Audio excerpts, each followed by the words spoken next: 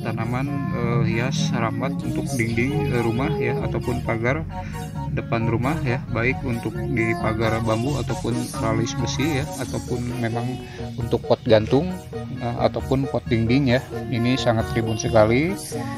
Ini warnanya dua warna ya jadi termasuk e, warna varigata memang varigata tetapi sudah jenisnya di tanaman English epi ini ya bentuknya unik sekali bersudut 5 ataupun bersudut tiga variasi ya nah ini warnanya acak ada putih adapun warna pul e, putih ya Nah ini keunikannya dari warna ataupun bentuk ya.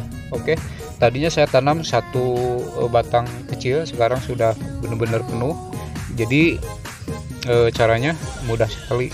Tapi walaupun mudah, kita tetap cari batangnya yang memang harus korban satu ruas di daun tersebut ya. Kita buang e, daun satu, kita potong di bawah ruas, jangan di tengah-tengah ruas apa tengah-tengah batang ini terus ditanam itu tidak akan mengeluarkan akar ya Oke, kita contohkan di sini uh, nyarinya yang uh, untuk ditanam kembali.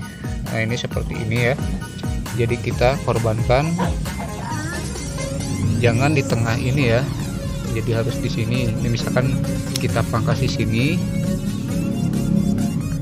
Nah, ini ditanam itu tidak akan uh, mengeluarkan akar. Jadi harus ditanam ruas ini kita korban buang satu daun ya nah ini buat uh, akar jadi ini terlalu panjang ya nanti saya potong kembali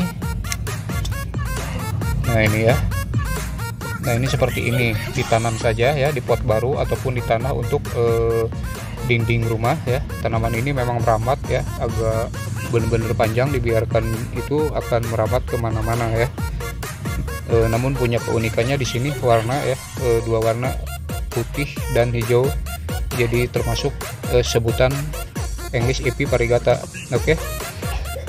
Uh, cukup sekian ya semoga bermanfaat. Kita berjumpa lagi tayangan berikutnya.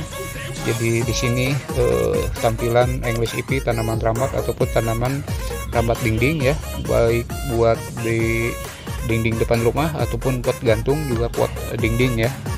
Ini sangat rimbun sekali ya warnanya cantik.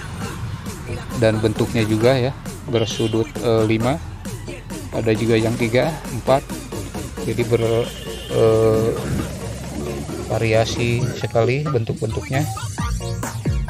Oke sahabat itu dia ya. Semoga bermanfaat.